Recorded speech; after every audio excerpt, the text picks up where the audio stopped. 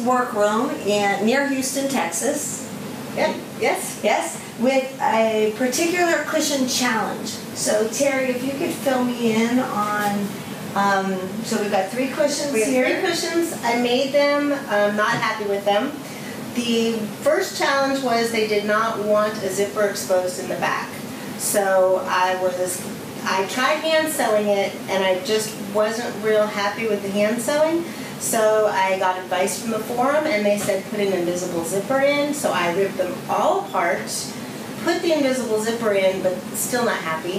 Um, First challenge is the zipper. It Mhm. needs to be an invisible zipper per client specification. Or hand sewn. Or hand sewn, just no No typical visible visible zipper. zipper in the back. Yeah. Is that because they're, they're exposed cushions? I think so, I honestly don't know. Okay. It's so for a designer and she didn't give me those And it was a designer and, and they gave you cushions to go by or measures? They gave go me cushions, they were existing cushions, I took the old cushions off and the foam and the wrap is all original. What are some reasons why you're not comfortable just giving them to the client right now?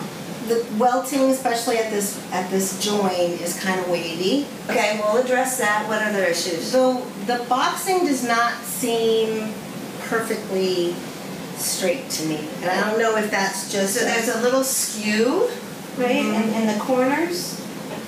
There's um, a little blip there, right? Uh, so that was not bad.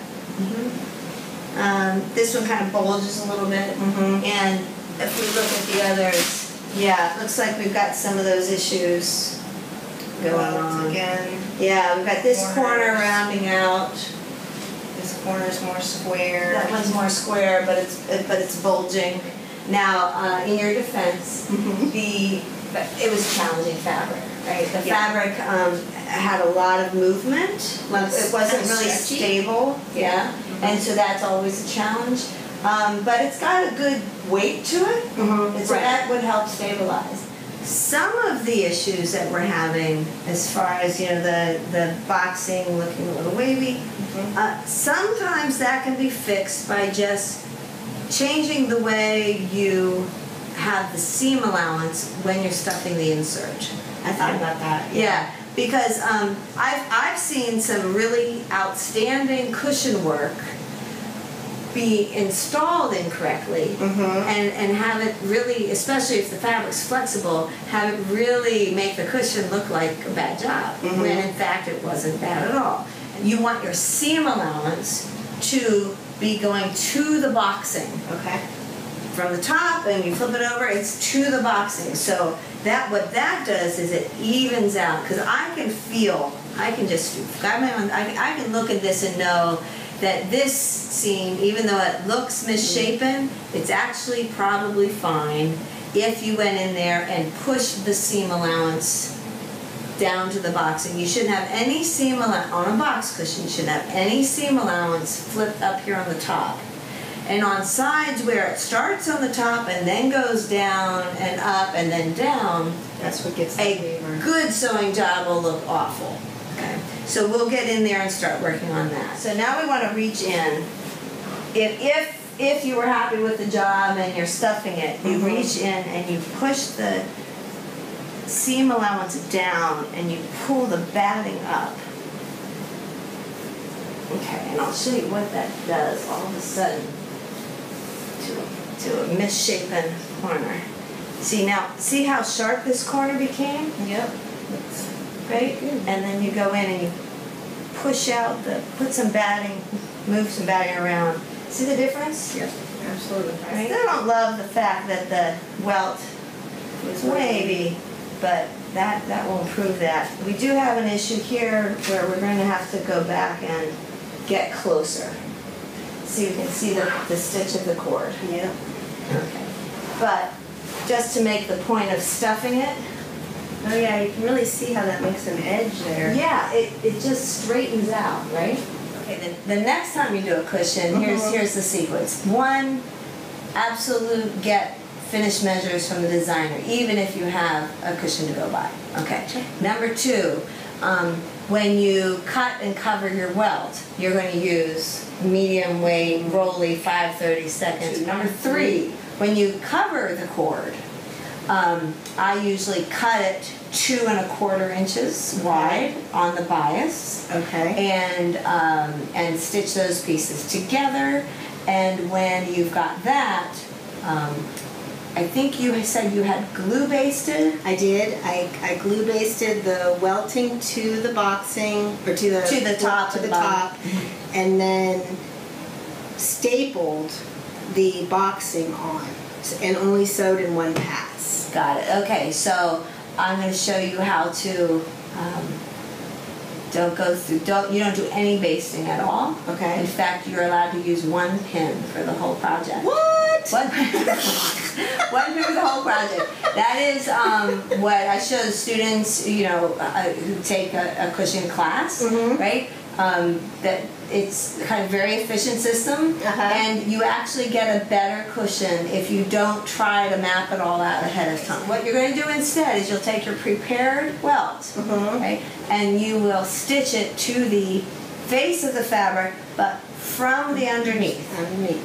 Okay. Now, some people go as far as not even preparing the welt and cover the welt as they're stitching it to the cushion. I like that method too. So you're saying you said that you would cut your welting at two and a quarter. Does that mean you have a larger seam allowance for the face, or Oh, that's a good question. Okay, so one thing I forgot is that um, when I do cushions, I use three quarter seam allowance. Um, you, that helps, especially when, because upholstery fabrics aren't always super stable. Right. There's usually some give to them. And, and what that gives you is you have your stitch, and then when you serge to clean things up, Mm-hmm. you will get to the half an inch then. Gotcha? But it's good to have that three quarters, just a little more stability at corners and as So you working at the end. You wouldn't sur- you wouldn't make your cur- cord surge and then put it on. Okay, I don't, uh, if there's too much bulk and this is heavy fabric, then you can apply your welt and surge the top with the welt and the bottom with the welt before you add your boxing. Okay. That works. Okay. But, um, uh, but I tend to, depends on the way of the fabric, whether I would take that step to serge then or just wait till the whole thing's all together. Okay. Okay? Okay. Um, so we've applied the, the, the, the medium weight welt cord Mm-hmm. to the top and the bottom. Um, it matters what side you're stitching it from. If you stitch welt from the top, then, then what happens is, as you're stitching and you're applying the cord, the feed dog starts gathering up the bottom fabric. Right. And so you end up usually with puckers in your top and bottom. But when you apply it, as I said, the welt is underneath as you do that stitch. Because that's taking up all the extra. or- Yeah, so if, if the feed dog is pulling, then it, it doesn't usually move the cord Okay. because the cord is so stiff. Mm-hmm. Okay, so what are we gonna do with this one? I don't know. I want to find new fabric. I want to start over. Me start over. I, I do have to say though, you did you did a one really good thing that is a common error for people who don't do a lot of cushions, and that is you you had an initial cushion where the corners had rounded out, Mm-hmm. And you corrected for it. You went back to a square corner. So when you made your cuts from the top and bottom, you squared them up again. Yes. Um, which, which is so yay, yay! I did one thing right. um, so that that's good because this, um, you know, if, if we were just focused in, let me have some. If we were just focused in on one corner and we had the, um, and we have the seam allowance turned the right way. I mean, that's a good, that's a darn good corner. There's nothing wrong with that. But had you followed the curve and the misshape of the Mhm. original, you would've it would have made mess. it worse and it would have been a mess and you wouldn't have been able to line those up. Let's take one, get closer with the stitch, um, make sure the corners are lined up, and let's stabilize the back panel and hand stitch it closed and see if we get something that you're proud of. Okay. And then, um, and then if not, then maybe look at a total redo. Okay. All right, so I think we have a plan. We're, we're let's take um, let's take the one that's in worse shape, and I think that's the one where the zipper's Zippers. already busted, mm -hmm. and, uh, and see if we can make it work without remaking the whole thing. Hi, I'm Seal DeGuglielmo, librarian at the Curtains and Soft Furnishings Resource Library. As a Pro Plus member of the library, you can watch this video advertisement free and talk to industry professionals in our online forum. Visit the library to learn more about starting or growing a business using your creative sewing skills. See you at the library.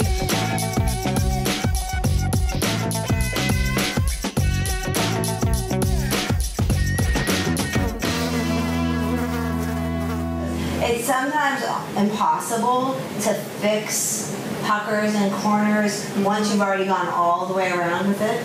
Know, um, the, the best case is to notice that happening as you're stitching it and stop and rip out before you get around to the next corner. Right. Okay, but I think there's some work we can do here, especially this pucker. We could probably work that in back here, and there's a pucker on this corner too.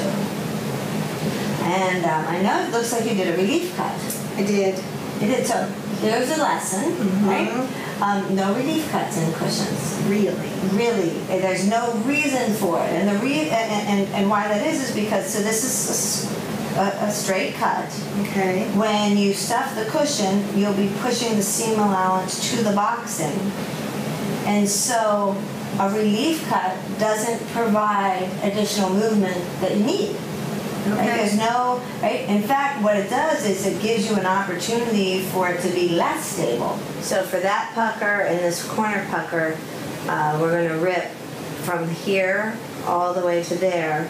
Uh, because since we've got a pucker on both sides, we can work the excess into the seam. Okay, okay, let's do some ripping.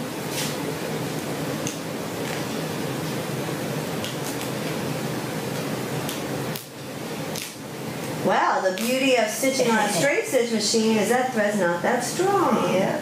We'll fix that too. We're gonna move to the walking foot and use the bonded nylon thread, which um, is ideal for cushions because you shouldn't be able to rip out a seam that easy. So glad you can though.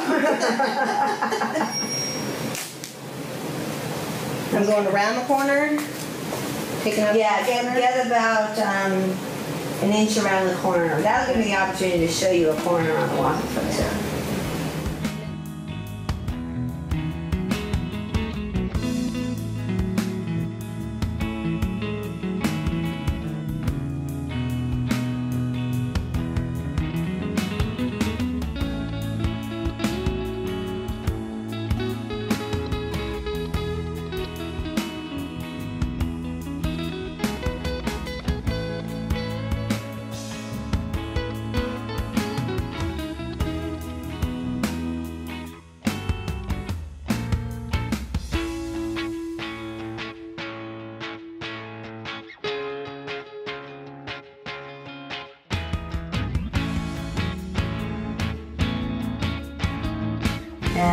we will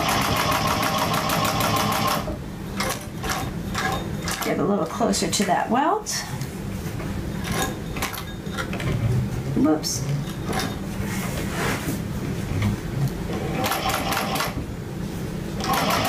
Okay.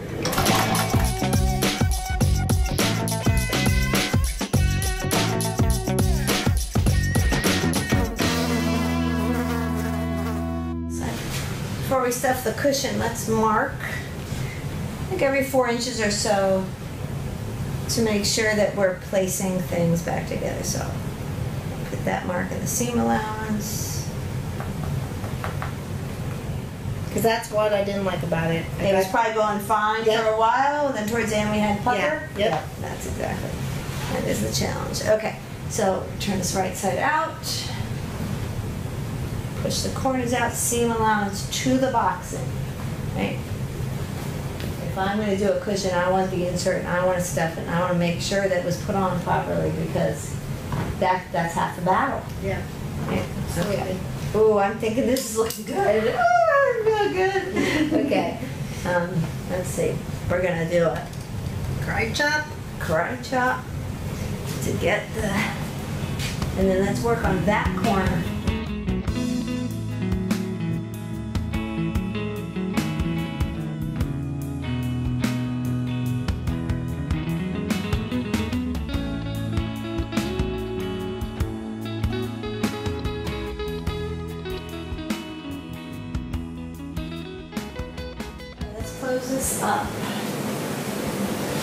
We'll do one final check, make sure the seam allowance is down to the boxing and down to the boxing.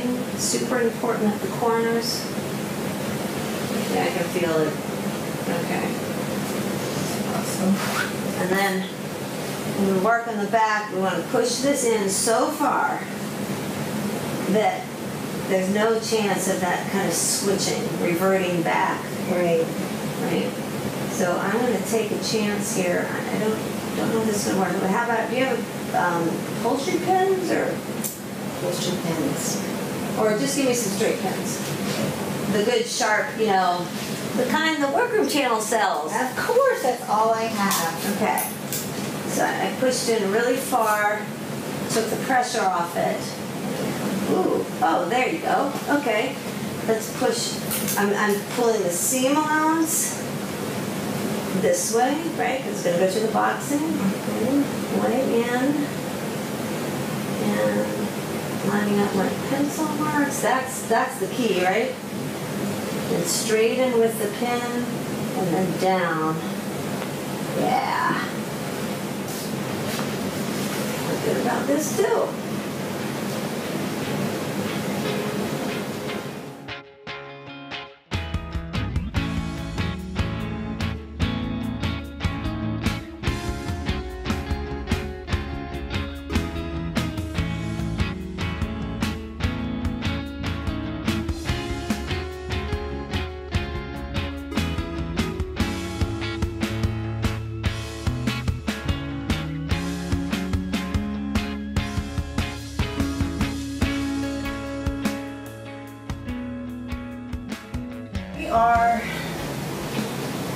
Going to fix, there was a big lump in that connection. So instead of having an overlap, we're actually going to do a straight stitch.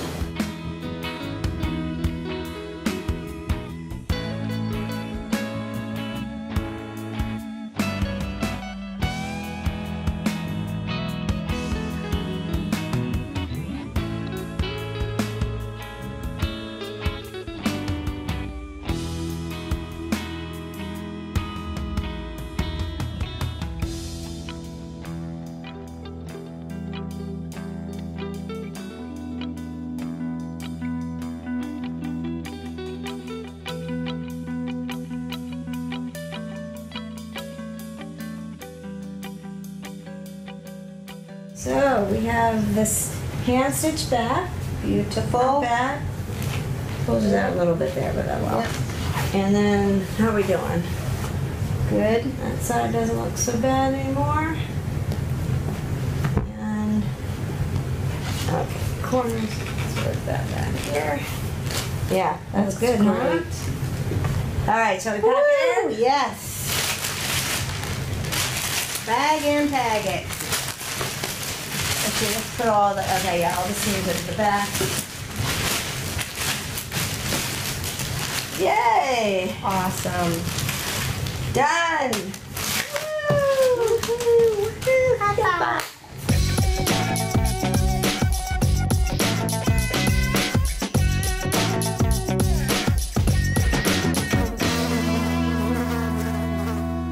We're stitching the welt underneath. Mm-hmm. So we Three quarter inch seam allowance. Mm-hmm. Your welt was cut at two and a quarter. two and a quarter. Excellent.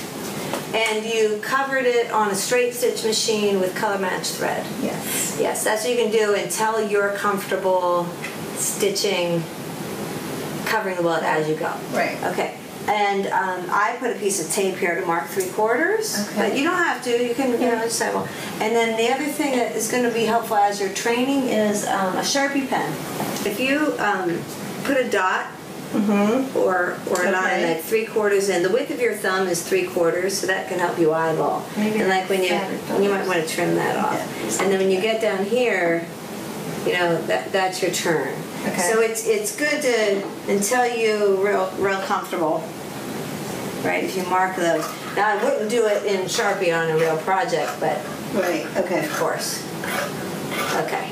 Before you get to that point, lift it up mm-hmm. and you're gonna make a relief cut all the way to the stitch. Okay. Go ahead. All the way to the stitch, perpendicular, straight, yeah, perpendicular into this. a little too long for this, but I think it's. There you go. good. There you go. Good. Okay, so what that will allow you to do is make that sharp turn. Okay. Okay.